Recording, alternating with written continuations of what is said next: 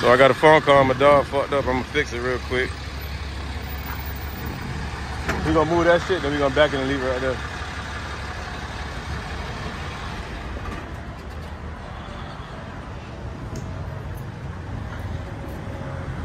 there.